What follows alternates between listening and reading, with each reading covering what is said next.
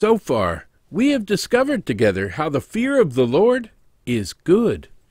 It endures forever, and it causes us to hate evil and love good. So Jesus promoted the fear of the Lord, just as all of his servants, the apostles and prophets, did. We have learned that many Christians are not being taught that the fear of the Lord is good. So many famous people associated with the name of our Lord have demonstrated they did not fear the Lord through their evil actions. We have learned that we can focus our fear on the wrong things, which will cause us to lose sight of the fear of the Lord. And when fear is misplaced, instead of loving what God calls good and hating what God calls evil, people focus their fear on things that cannot lead to the eternal condemnation of their souls. We have learned that salvation is a road, and the fear of the Lord repels us away from evil, while the love of God draws us forward towards good. But when we forget the fear of the Lord, misplaced love will lead to an exit off the road of salvation, and we will be right back on the evil mega highway that leads to destruction unless we repent. We have learned that God's law functions like a guardrail along the road of salvation, helping us define the edges of the road by defining good and evil. And the fear of the Lord works like an exit closed sign to prevent us from taking an exit ramp towards sin. But false prophets and false teachers dismantle the divinely designed guardrails and exit closed signs, thereby leading people off the road of salvation. So we must avoid anyone who contradicts the fear of the Lord or God's standards of good and evil. We have learned that the law is good. We should obey it in the fear of the Lord. And the law is instituted to protect every law abiding citizen from those who would break the law. Thus, the liberties all law abiding citizens enjoy can only exist in a society with just laws and trustworthy law enforcement officials. We have proven that any law enforcement officer who refuses to stop those who violate the law or treat all those they do stop impartially is not a good law enforcement officer. Likewise, we have proven that a judge who refuses to punish all those who violate the law impartially is not a good judge. But most importantly, we learn together that Jesus is the lawgiver, the judge, and the Lamb. And those three titles of our Lord do not contradict one another. However, people who only see Jesus as the Lamb and their Savior often abandon the fear of the Lord and obedience to His commandments. Thus, with all we have learned together established as a foundation, we are ready to build on that biblical footing and see how the truth about the fear of the Lord requires us to remember that Jesus is the impartial judge of all the earth. His standards of judgment are absolute, and his cross does not contradict those facts. Please imagine someone pulled over by a police officer for speeding. But when questioned by the officer, they point out that they were looking for a speed limit sign to obey, but because they could not find that sign, and they don't normally drive that road, they did not know what the speed limit was. The officer then has a choice to make. First of all, ignorance of the law is not an excuse, so he might present them with a ticket for speeding. If the law allows for it, the officer might decide to present them with an official warning and advise them to go and speed no more. Now imagine that the officer desired to be perfectly just, and for some reason warnings were not permitted in his district. What if he issued the unintentional speeder a ticket and then personally paid the fines? Would his actions undermine the speed limit laws he was sworn to uphold? Or would they reinforce and support those laws? Would an officer paying someone speeding fines erase the speed limit? Certainly not. Instead, it would show the driver that the officer deeply cared for them, but he had the highest respect for the law that demanded such a penalty. Therefore, this should cause the person whose fine was paid to drive under the speed limit happily and consistently from then on. What if we transfer this analogy to a judge? Imagine someone standing before a judge for a crime they committed in ignorance. Somehow, they broke a law they had never heard of, and the prescribed punishment was a month in jail. If the judge decided to let that person go with a warning, and afterward went to serve the month in jail on their behalf, so that the law was satisfied, would it abolish that law or reinforce it? You see, only if the judge truly cared for the person who broke the law and simultaneously held the law in the highest regard would they act in such a gracious way. And the lesson that the judge's actions should teach the person who unintentionally violated the law is how seriously they should avoid breaking the law ever again. Friends, that is what the cross of Jesus declares. Jesus is the ultimate judge, but he stepped down from heaven's throne to die for our sins so that we would realize two very important things. First, we must realize the amazing love Jesus demonstrated by dying for us while we were yet sinners, a term that means we violated his perfect laws. And second, we must realize how seriously Jesus takes his law to willingly take on the prescribed penalty for all those who will repent and come to him as their teacher and Lord. This is why Paul wrote Jesus Christ gave himself for us, that he might redeem or buy us back from every lawless deed, and purify for himself his own special people zealous for good works. The gracious police officer and the gracious judge. Both showed grace in our analogies to teach the recipient of that grace to obey the law. And this was the point of our Lord's ultimate sacrifice of grace. He wants us to do good, as defined by His law, and to avoid evil.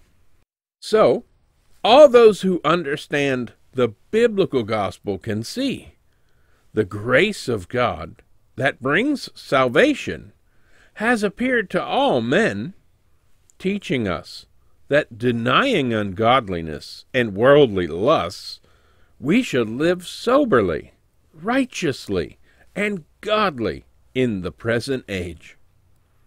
But those who misunderstand the gospel of God's grace think that Jesus abolished the laws that they broke rather than the record of them breaking the law. Would you pay a prescribed penalty for someone else if you thought you could just abolish the law that established the penalty? Certainly not. So, the death of our Lord on the cross proves that Jesus did not abolish the law. For this reason, Jesus commanded, Do not think that I came to destroy the law or the prophets. I did not come to destroy, but to fill them to the full. For assuredly I say to you, till heaven and earth pass away, one iota or one dot will by no means pass from the law, till all has come to pass. Whoever therefore loosens one of the least of these commandments, and teaches men so, shall be called least in the kingdom of heaven. But whoever does and teaches these commandments, he shall be called great in the kingdom of heaven. Truly, Jesus did not abolish his law, and he forbids us to even think that he did. Instead, Jesus simply replaced the Levitical system of cleansing that he instituted before his death to usher in a new and better priesthood based on his ultimate sacrifice. So the book of Hebrews perfectly summarizes what legal aspects Jesus did away with at his cross, explaining that the Levitical priesthood was concerned only with foods and drinks, various washings, and fleshly ordinances, imposed until the time of Reformation. But Christ came as a high priest of the good things to come, with the greater and more perfect tabernacle, not made with hands, that is, not of this creation. Hebrews explains the Levitical priesthood, with those fleshly ordinances, could not open the veil to the Holy of Holies. But Jesus succeeded in opening that veil when he became our high priest. And that fact eliminated the fleshly aspects of the first covenant imposed when the veil was shut, such as the laws concerning clean and unclean foods, the ritual washing of unclean items, and fleshly ordinances like physical circumcision. Meanwhile, the new covenant that features Jesus as high priest is still based on the same commandments, and no part of his law was abolished beyond those fleshly items. So Paul wrote, Circumcision is nothing, and uncircumcision is nothing, but keeping the commandments of God is what matters. Yes, the amazing grace of God is not in any way opposed to God's amazing commandments or the fear of the Lord. And anyone who teaches otherwise is teaching a false gospel. They are not abiding in the doctrine of Christ, and Paul has placed a curse on them within the pages of the Bible. Paul wrote, I marvel that you are turning away so soon from him who called you in the grace of Christ to a different gospel, which is not another. But there are some who trouble you and want to pervert the gospel of Christ. But even if we, or an angel from heaven, preach any other gospel to you than what we have already preached to you, let him be accursed as we have said before. So now I say again if anyone preaches any other gospel to you than what you have received, let him be accursed. Some people teach a false gospel by proclaiming that Christians must keep the foods, drinks, various washings, and fleshly ordinances of the Levitical covenant. And Paul's curse definitely applies to them. But other people teach that Jesus did away with some or all of the commandments of God and the good moral standards they represent. And those who teach this heresy are also under Paul's curse. But the ironic thing is, those who teach that second false doctrine do so because they misunderstand the letters of Paul, the apostle who cursed them in one of his letters. As a former Pharisee, who relied on the foods, drinks, various washings, and fleshly ordinances of the law for his righteousness, Paul knew how these things never made anyone righteous enough to enter the Holy of Holies. So, because Paul knew they represented the old covenant of Levitical works, Paul vehemently opposed them. For this reason, when you read in any of Paul's letters an argument against what he called the works of the law, you will see Paul mention circumcision or foods in the context of such passages. But at the same time, Paul always promoted good works that agreed with the moral aspects of the law, not related to Levitical cleansing. As a few examples of many, we see that Paul wrote, This is a faithful saying, and these things I want you to affirm constantly, that those who have believed in God should be careful to maintain good works. Paul wrote, God will recompense each person according to his works. Eternal life to those who by patient continuance in doing good seek for glory, honor, and immortality. But to those who are self seeking and do not obey the truth, but obey unrighteousness, indignation and wrath. And Paul testified that everywhere he went, he taught all of the people he met that they must repent and turn to God and do works worthy of repentance. So it is true that Paul taught against the works of the law, such as circumcision and Levitical dietary restrictions, but Paul never taught against the commandments of God or the fear of the Lord. For this reason, we see Paul keeping Sabbath each week, observing the feasts of the Lord, and writing to the churches about those feasts, expelling blasphemers out of congregations, commanding churches to expel sexually immoral people, commanding us to put away lying and stealing, teaching that covetousness was idolatry, and much, much more. Yes, Paul was reinforcing the commandments and the fear of the Lord when he wrote the following Do you not know that the unrighteous will not inherit the kingdom of God? Do not be deceived. Neither fornicators, nor idolaters, nor adulterers, nor homosexuals, nor sodomites, nor thieves, nor covetous, nor drunkards, nor revilers, nor extortioners will inherit the kingdom of God. Paul likewise was emphasizing the commandments in the fear of the Lord when he warned, Now the works of the flesh are evident, which are adultery, fornication, uncleanness, lewdness, idolatry, sorcery, hatred, contentions, jealousies, outbursts of wrath, selfish ambitions, dissensions, heresies, envy, murders, drunkenness, revelries, and the like, of which I tell you beforehand, just as I also told you in time past, that those who practice such things will not inherit the kingdom of God.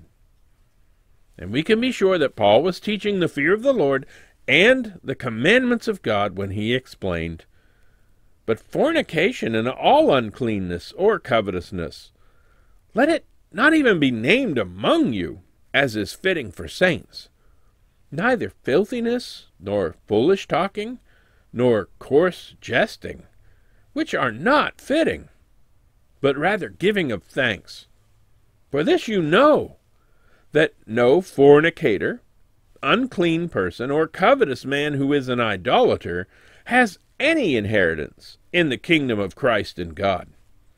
Let no one deceive you with empty words, for because of these things the wrath of God comes upon the sons of disobedience. But when people who don't know or understand the rest of the Bible read Paul's letters and how Paul opposed certain works of the law, like circumcision or Levitical regulations regarding foods, those without a solid biblical foundation twist Paul's words to their own destruction. But God knew this would occur. So God had his servant Peter leave us all a very special warning. In the very last words Peter wrote to the church, he included this warning as he wrote Our beloved brother Paul, according to the wisdom given to him, has written to you, as also in all his epistles, speaking in them of these things in which are some things hard to understand, which untaught and unstable people twist to their own destruction, as they do the rest of the Scriptures.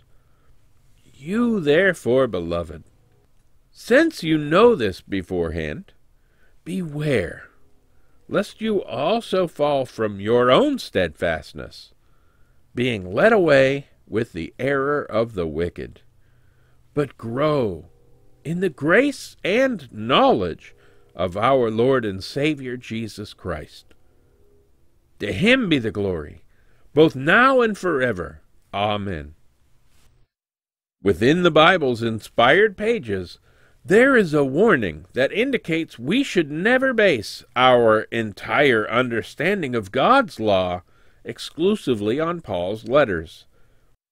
Because Paul's writings contain some things that are hard for even apostles like Peter to understand. Consequently, untaught and unstable people twist Paul's letters to their own destruction. And when Peter issued this warning, he cautioned us of a very specific heresy to avoid when he wrote about the error of the wicked. The word Peter used, that we translate as wicked, was athesmos, which, according to Thayer's Greek lexicon, means one who breaks through the restraint of law and gratifies his lusts. Yes, nearly 2,000 years ago, Peter warned that some untaught, unstable people use Paul's letters to justify breaking through the restraint of God's law to gratify their lusts. So we must always remember that Paul was a disciple of Jesus Christ.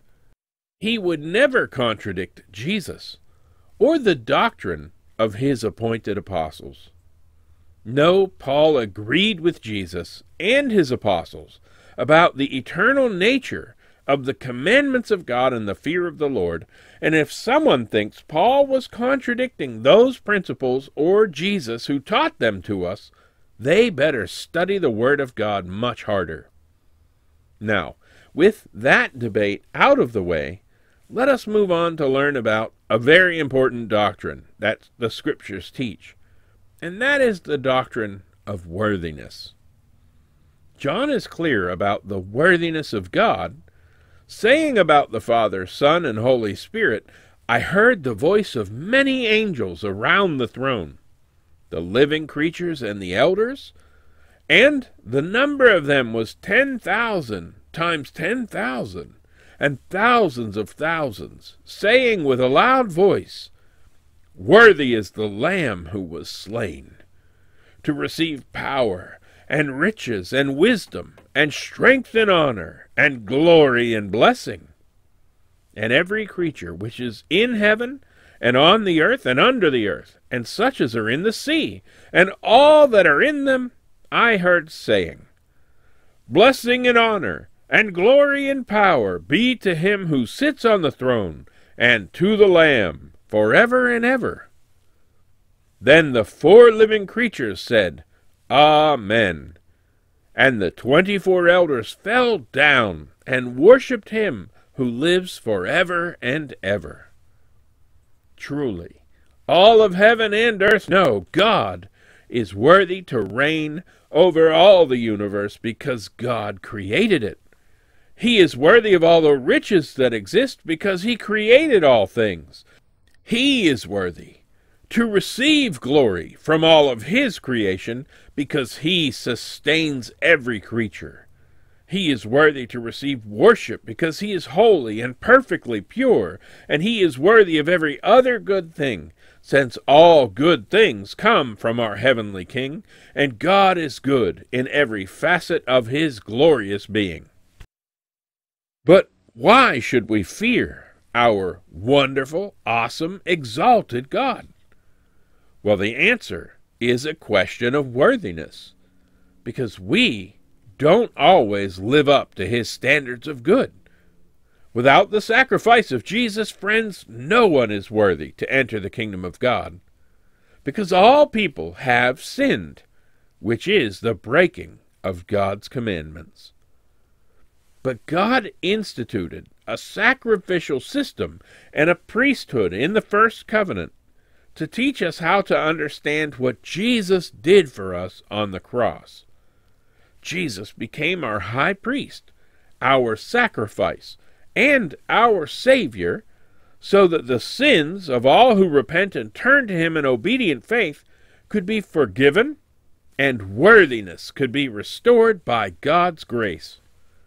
According to the righteous judgment of God, we were worthy of the punishment of death. But Jesus took that punishment upon himself so that we could have eternal life. And because Jesus was a perfect, worthy, sinless sacrifice, the grave could not keep him. Or, put in terms of our traffic ticket analogy, our lawless driving made us unworthy to drive any more. But it's like Jesus deposited an infinite amount of money in a very special bank account, set apart to pay the fines of all those who will agree with his traffic laws and ask him to forgive them for speeding, while inviting him to teach them how to obey the rules of the road going forward. So by his gift, he can make drivers that are worthy of the road. Or put in terms of our judge analogy, our violations of the law made us worthy of imprisonment. But it's like Jesus spent an infinite number of years in prison to erase the sentence of all who will repent of their violating his law, who will ask him to help them be good, law abiding citizens. So those who accept his offer can become worthy of his eternal kingdom. But after we understand the relationship the cross of Jesus has to true justice and his commandments, and how Jesus can make sinners who are worthy of death saints who are worthy of eternal life, we need to understand that is not the end of the gospel. No. After Jesus purchased our freedom from sin's condemnation, Jesus rose again from the grave, and returned to his glorious throne in heaven. Therefore, the gospel that the apostles preached did not end with the death of Jesus Christ. No, it always includes the fact that the resurrection proved Jesus is worthy to judge the entire earth. He has the keys to death and Hades. Therefore, he will return to judge the world impartially based on each one's works, to measure if they are worthy of his kingdom or worthy of eternal punishment. Peter explained that the Lord specifically commanded that the gospel include Jesus as judge. So Peter declared, He commanded us to preach to the people and to testify that it is he who was ordained by God to be the judge of the living and the dead. Jesus commanded that his role as judge be part of the gospel, so no one would think the gospel contradicted the fear of the Lord. Therefore, the doctrine of the fear of the Lord always sets our focus on Jesus as the ultimate judge.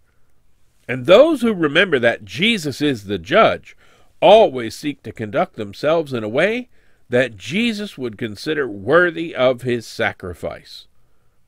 if we stumble into sin, we must repent, just as we did when we first came to Jesus, and his blood will cleanse us from all unrighteousness. But every Christian must admit and understand there is a big difference between stumbling into something you don't want to do and repeatedly doing what you hope to get away with. Repentance means we don't want to sin anymore. We agree with Jesus that sin is evil, harmful, selfish, unloving, and destructive.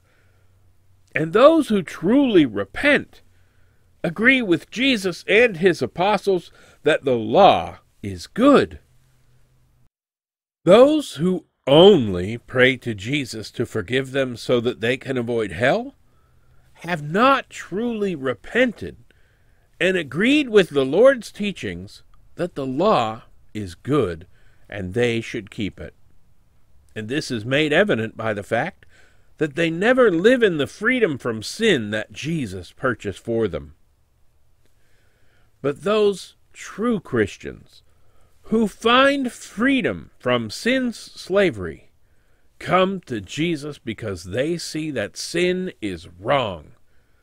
They know hell is a just punishment for sin, and they don't want to sin any more. Therefore, Jesus will apply his blood to their sins, fill them with his Holy Spirit, and teach them how to walk in the way of righteousness in a manner worthy of his great sacrifice.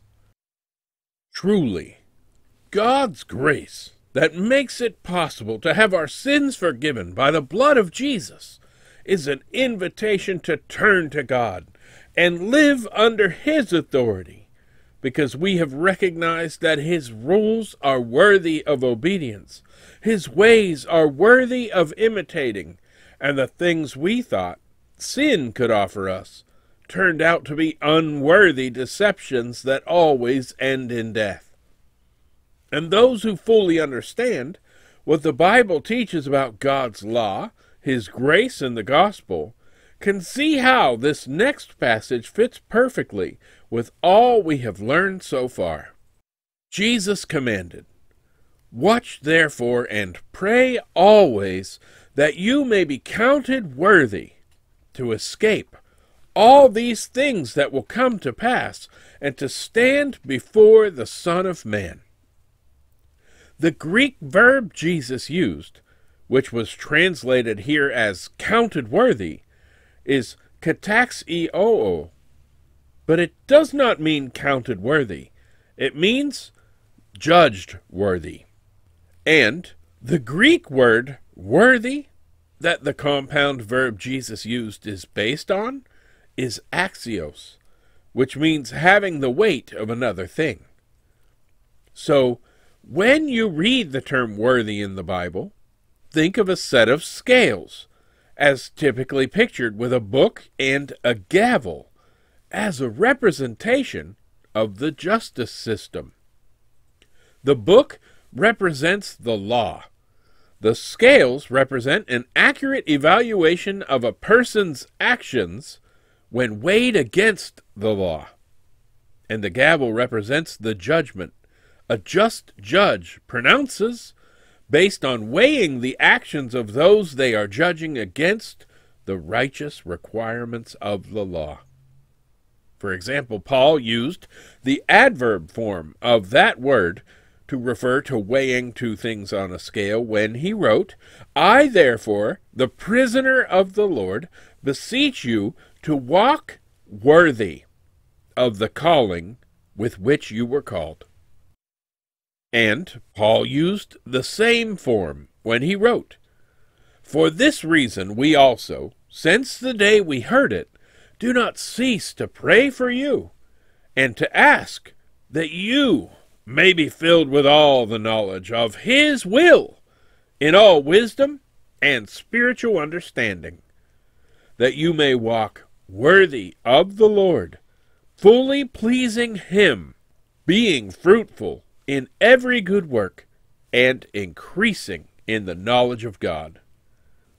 Likewise, Paul used the adverb form of the Greek word for worthy, which refers to weighing two items on a set of scales, as he wrote, You are witnesses, and God also, how devoutly and justly and blamelessly we behaved ourselves among you who believe, as you know how we exhorted and comforted and charged every one of you, as a father does his own children that you would walk worthy of God, who calls you into his own kingdom and glory.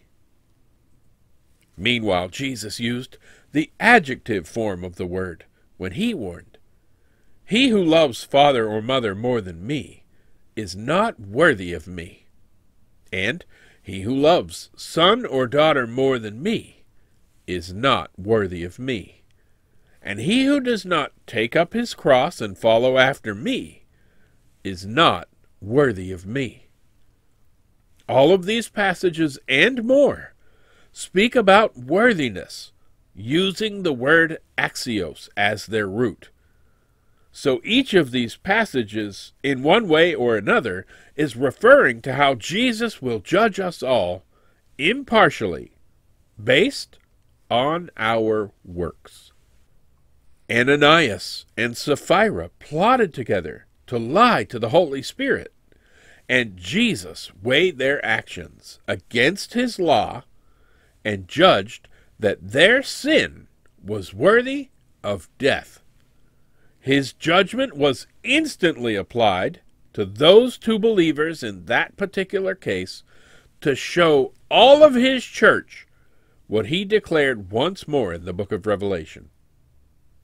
He said to the church of Thyatira, I gave her time to repent of her sexual immorality, but she did not repent. Indeed, I will cast her into a sick bed, and those who commit adultery with her into great tribulation, unless they repent of their works. I will kill her children with death, and all the churches shall know that I am he who searches the minds and hearts, and I will give to each one of you according to your works. Jesus wants all his churches to know that he will judge us by our works. If we have repented and received the remission of sins he offers through his cross, we can enter the narrow gate and begin our journey on the highway of salvation. If we take an exit off of that blessed road, we can repent and return to the highway by the power of His blood.